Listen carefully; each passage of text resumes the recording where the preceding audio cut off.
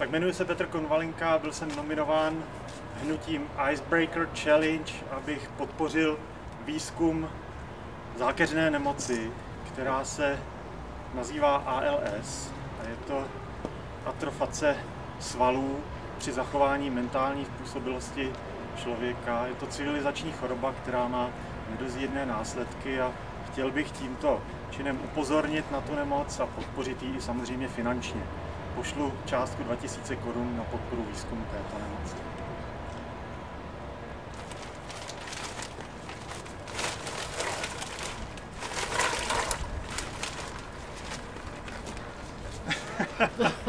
Do toho.